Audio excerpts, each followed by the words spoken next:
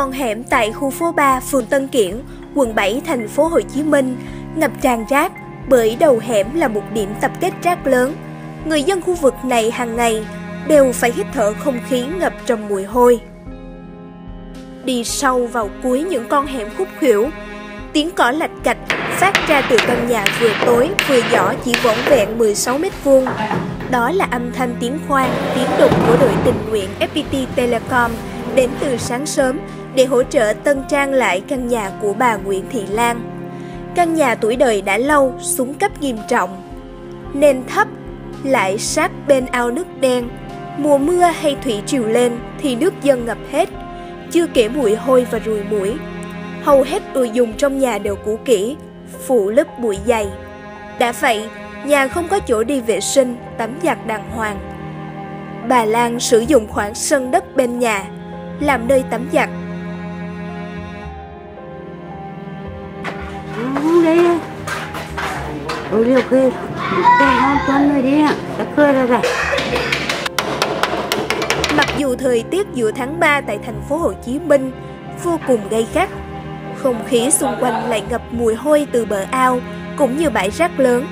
Các cán bộ nhân viên FPT Telecom ai nấy mồ hôi nhễ nhại, áo quần đầu tóc lấm lem những giọt sơn, mặt đỏ hoe vì mệt. Nhưng anh em chẳng ngại lăn xả. Căn nhà được khoác lên mình chiếc áo mới màu hồng, nhưng cuộc sống của bà Lan theo lời kể thì không hồng như thế.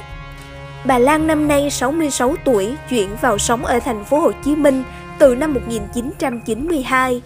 Gia đình thuộc diện chính sách khó khăn, chồng và một người con đã mất. Hai con còn lại vì công việc cũng không thường xuyên ở nhà. Mình con con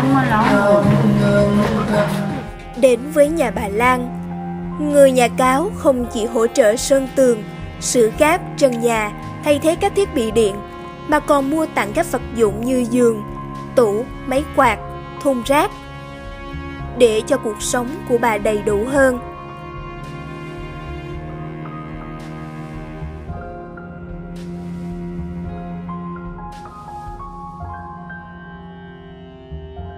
Khi chung cư phía bên kia bờ ao đã sáng đèn, thì tại căn nhà nhỏ, người FPT Telecom vẫn miệt mài. Trong bóng tối, người trong đèn, kẻ khoan.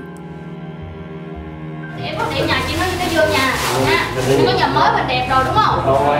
để đó không rác ngày việc hoạt động của bên FT mình thì ờ, hôm bữa mình nghe cái tin á thì mình dẫn sắp xếp đi hôm nay hôm qua thì mình tham gia một ờ, ngày hôm qua rồi đó hôm nay thì gặp nó thì sáng mệt lắm, nhưng mà tay chân thấy nó đứt đứt, có thể là đứt chảy máu luôn á.